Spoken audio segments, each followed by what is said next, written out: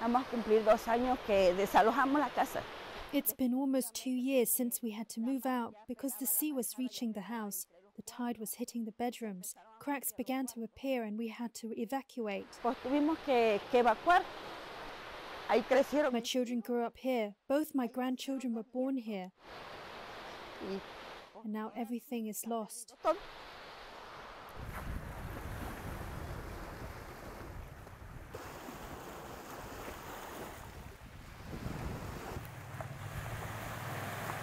Greenpeace México adscribe la demanda Greenpeace Mexico ascribes the demand of the El Bosque community, which seeks an immediate and dignified relocation.